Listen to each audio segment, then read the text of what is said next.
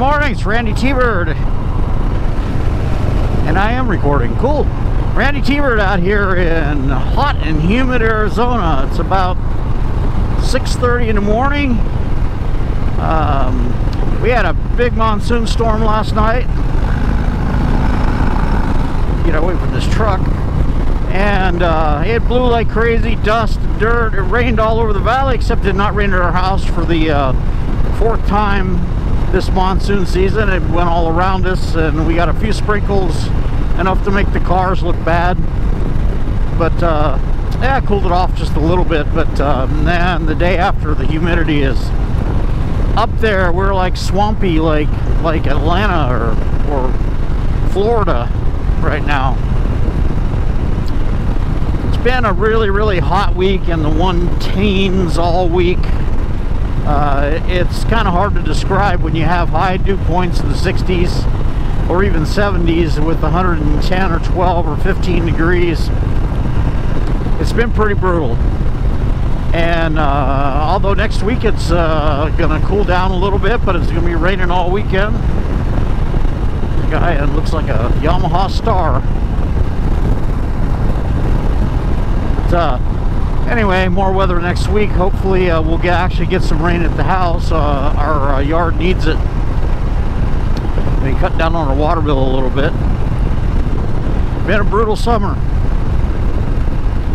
But I just wanted to get out this morning before it gets to be really hot. It's supposed to be 101 by 10 a.m. this morning. So I'll be out for a short ride today and uh, uh, be back home before that happens. Uh, got some plans for later today. Uh, it's a good thing to have uh, air conditioning in your car out here to have a good air conditioning. That is one thing about my car is the AC works really good. So yesterday uh, we started at 7 a.m. in the morning uh, recording my band's new CD. it's all covers. Uh, it's more of a demo so that we can get more shows.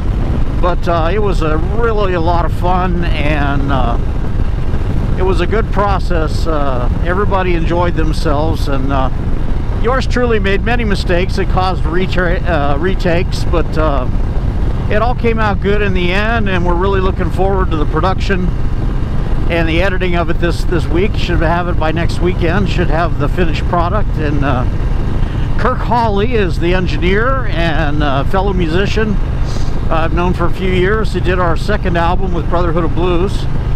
And uh, he does a great job and he's uh, very patient, which is important with my band because it's uh, the band's name is not Herding Cats, but it should be. But anyway, it was fun and uh, I'm glad we got that done. And uh, now it does uh, when you record, if you're a musician, you know when you record, all you want is more.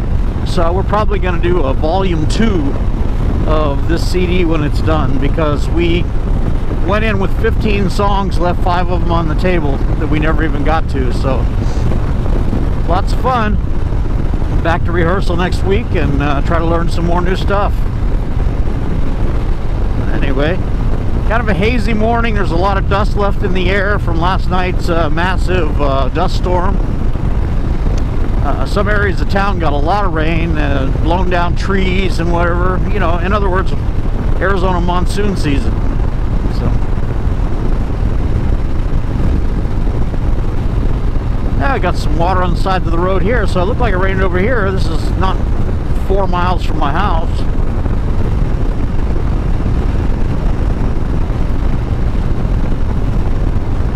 I like the 202 this time of the morning, or the 101, excuse me.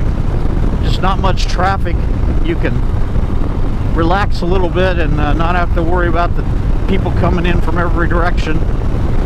Uh, merging lanes because it does break off into another freeway here, the 202 freeway, and it gets kind of kind of crazy at times. Uh, Jim from My Motorrad, thanks for the shout out in your video the other day. I appreciate it. And Blues Heart Biker, if I did not uh, thank you for the sticker last week, I am this week.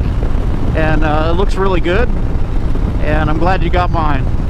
So I do have stickers if anybody's interested. Uh, you have to hit me up. Uh, the best way to uh, to uh, get a hold of me is to DM me through Instagram, and then I'll be happy to send some out to you to trade stickers.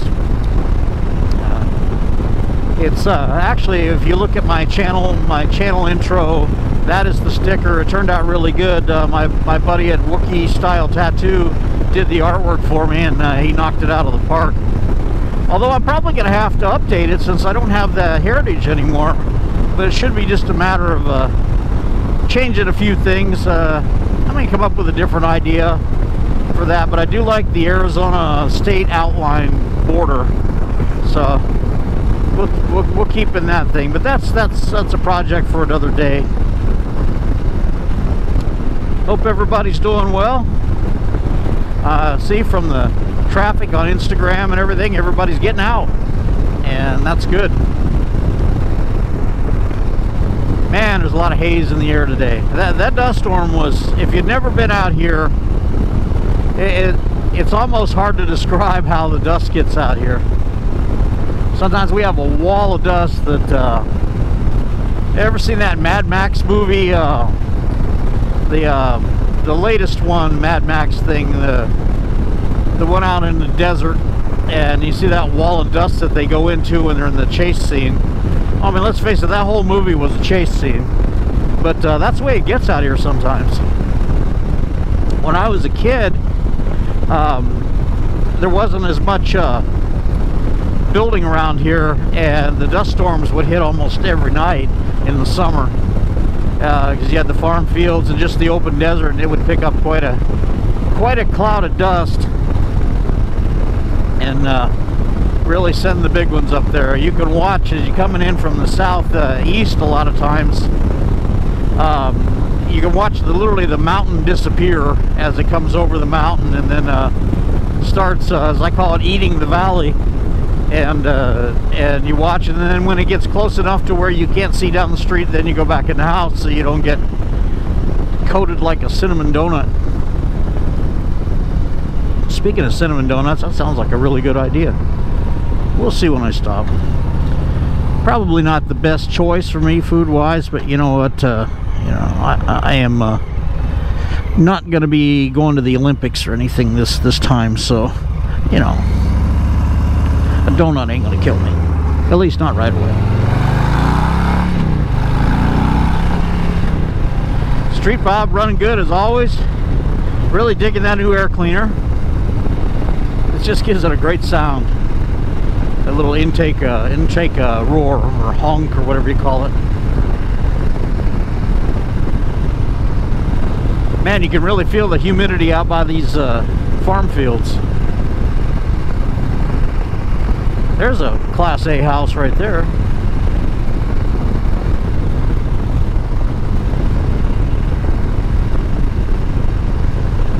I thought about going out through the reservation riding down those roads. Those roads are pretty rough, and and a lot of them they go just a few miles and dead end. So, uh, and I'm not really sure uh, which ones do and which ones don't. Uh, might might uh, explore that here one of these days. Looks like a couple of failed farms right here, cattle pens. Farming is a hard life they're out there working on a Sunday morning with the tractor. Looks like they must be baling hay or something. I don't know. Me not being a farmer, I could only guess. Past the cheap cigarette place. Well, relatively cheap.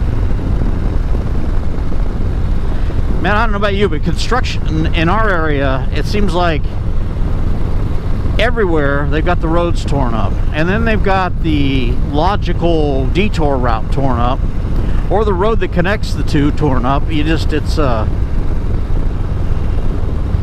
it's crazy.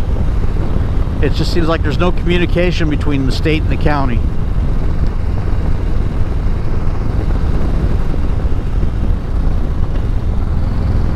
coming up on Alma School Road and a traffic light out here that's unusual to get stopped anyway. I'm not sure how far Alma School goes down the road there, but I know it's probably hard to get back to the 87 once you get on that road. Again, one of these days I'm going to have to find out. Maybe when it's cooler this winter.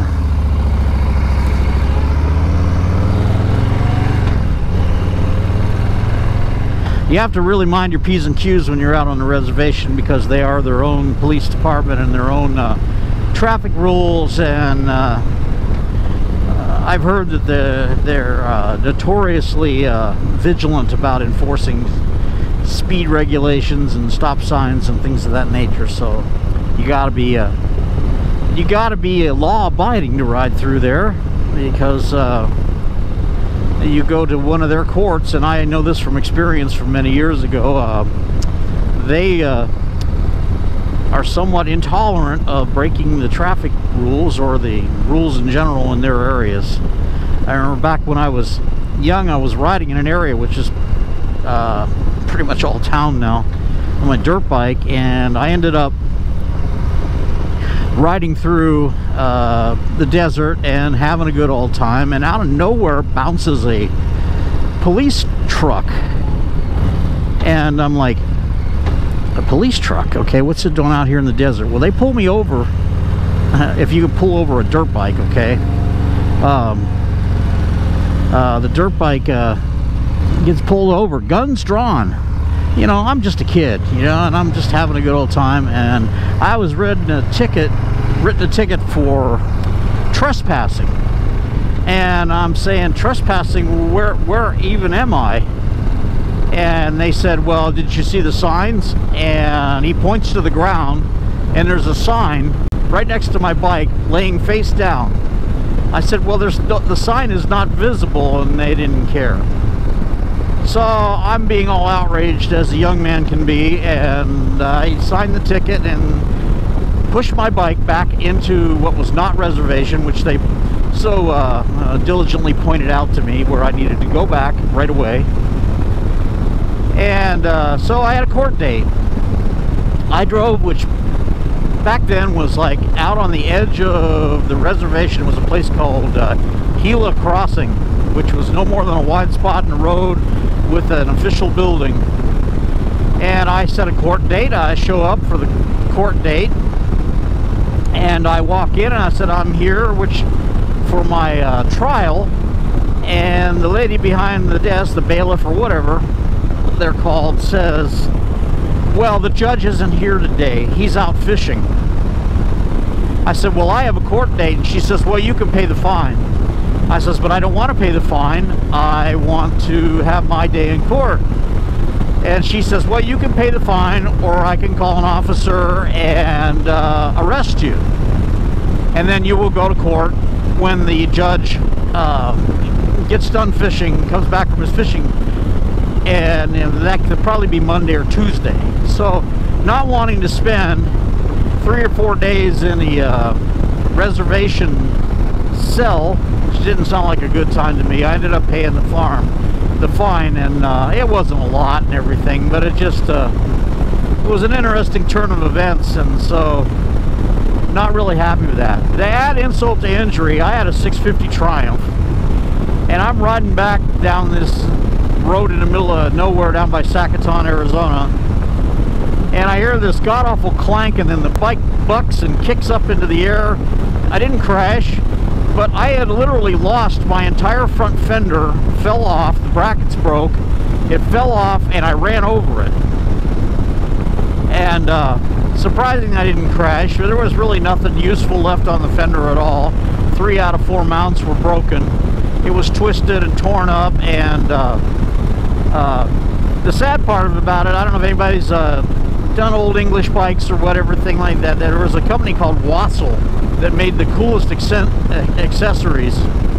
And it was an aluminum Wassell shorty fender that it was on it. And uh, now it was a watered up piece of uh, road debris. So that was that was the icing on the on the day. But that's an old story from the early 70s. I'm pretty sure now that uh, the, the, place that I was uh, riding back then is a city street now. So, needless to say, I really never went back to that area. Yeah, the haze is from the dust settling is really, really bad. And there's still fires out there. Guy in a dual sport out this morning, he's probably already been out and headed home.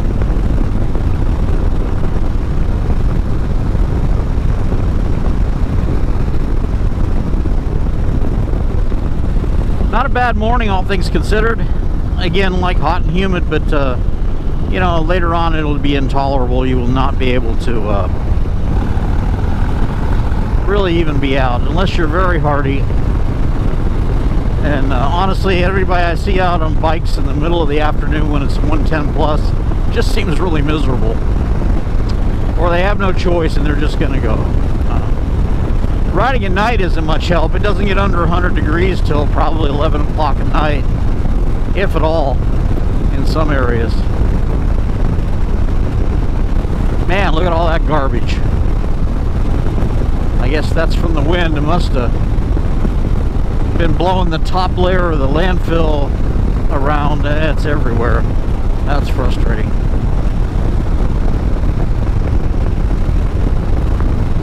And if it looks like fog out here, it's so hazy. It's not.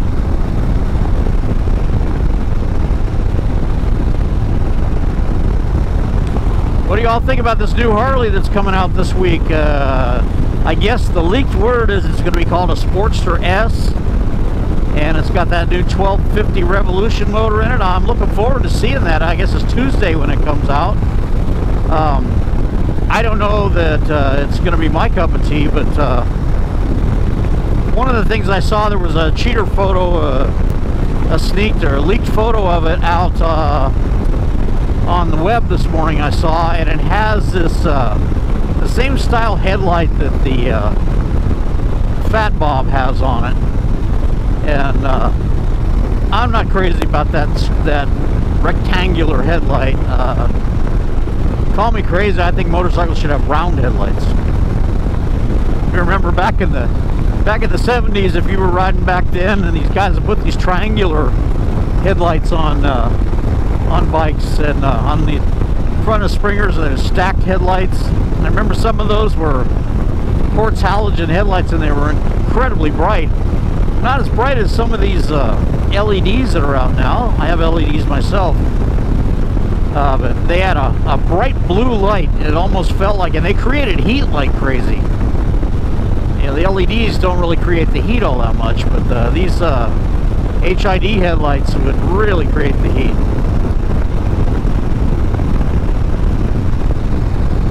But I remember guys that had Triumph choppers loved these triangular head headlights because uh, they uh, kind of matched the uh, timing cover on the old Triumphs. So I was never really much into choppers. Uh, I like them.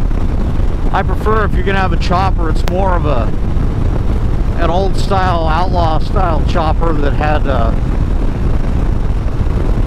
was more of a bike built to ride, not the bike to, you know, to wobble around to the to the billet bar in Scottsdale. So, you know, which doesn't exist anymore. So I should probably not bag on the people there that uh, used to be during bike week. These guys would wobble around on these big wheel choppers and uh, and uh, that was a real popular place for that. But uh, some of those bikes you never saw except during bike week.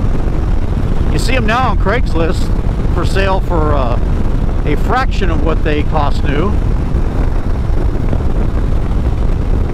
yeah, each his own. I've always liked modified, customized stock bikes, stock uh, frame bikes uh, that still maintained uh, the general uh, engineering of the uh, of the people that actually make a living doing that. So, come to find out over the over the years, uh, the the engineers they pretty much know what they're doing. Um, sometimes they get overruled by marketing and some other questionable things get done, but you got to think that the engineers are shaking their heads at, at, those and thinking, God, I had a great, I had a great thing going, and marketing decided that it needed to be uh, chromed and kicked out or something. But uh, again, that's that's the world, and uh, to each his own. That temperature's cooling down a little bit here as we go a little bit farther away from town. Well, anyway, I'm going to be rolling in to get some gas pretty soon, and this is Randy T-Bird out here in tropical Arizona. Thank you for all you subscribers this week. I appreciate it. We passed 581 as of this morning. That is incredible. I've, this has been a great month for subscribers.